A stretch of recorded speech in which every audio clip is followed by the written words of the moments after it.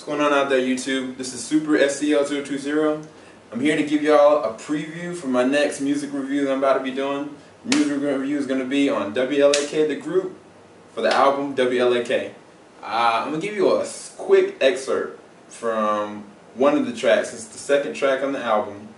The name of the track is Imagine, or you could call it Cypher. Um, but I'm going to give you about 46 seconds worth of an excerpt by one of the members. Now, the group members are, it goes as follows, not in any specific order, from better or worse, because each one of them have great talent. Um, you got Dre Murray, you got Christon Gray, you got Alex Faith, you got Swoope. The line that I'm actually going to be doing for this one is going to be Swoope's excerpt of it. So just hear it out. Okay. Goes as follows. Here for a reason, not a contingency was an empty seed, just a fetus formed from Matt Damon chemistry, till the Timothy Trinity empty entered me with a reborn identity. Now I remember things. I'm a king instantly because I was bought with a lot of blood. I enjoyed the, that invoice. Unemployed, the boss got me fired up, Jeremiah it up. Let's open the Bible up. Speaking of 29, leap to 29:11. 1 1, uh uh. Look what his plans do to me. King lives inside of me. So what can man do to me? Cross got me fired up. What can clan do to me? Preach without a pulpit. Teach without a podium. Each with the tools that given the word of sodium. They parch. the salt I'm speaking of ain't Jolie one because the only one only come to thirst for the King through his holy Son, Jesus. Okay, I said that super slow. I didn't even say it necessarily very right.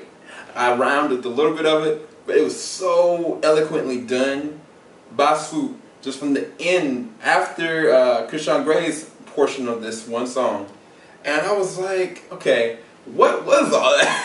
that was 46 seconds. And again, this is just a preview of my review for the album. I'm going to probably make it about 30 something minutes long because it's such a good album. But I'm not going to give you my stars for it. I'm not going to give you my whole perspective of the whole album. I'm just going to talk to you about this is one verse specifically. Um, now, he said in one part of it, speaking of 29, leap to 29, 1 1, uh uh. Look what his plan do to me, okay? That's just one part that I was like, okay, all right, Jeremiah 11. For I know the plans I have for you, declares the Lord. Plans to prosper you and not to harm you. Plans to give you hope and a future. I was like, did he really go In the aspect of what God has planned in store for us is so vast and what we can really comprehend what we're entitled to, what our real inheritance is about. And he goes so smoothly in just 46 seconds, but yet I mean, it's implanted, even though you don't realize what you're actually hearing. When you go back and listen to what you're repeating to yourself, that is positive reinforcements that's being infused into your spirit. And uh, I was like, that's awesome. But I mean, then you think about another verse. And this, this is so interesting. King lives inside of me, so what can man do to me? Okay? God lives inside of us. No matter what your opposition is, if you go to James 1, uh, 2 through 5, in the opposition, when you're going through the storm, uh, it's counted all joy. Counted the time to joy.